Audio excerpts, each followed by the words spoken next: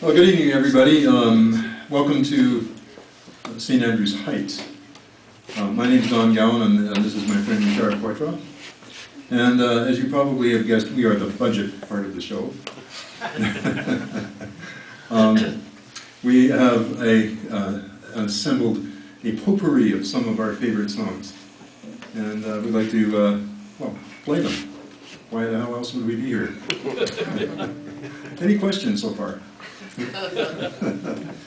First song we're going to do is, uh, uh, is an old Benny Goodman, uh, Charlie Christian tune called "The Smooth One."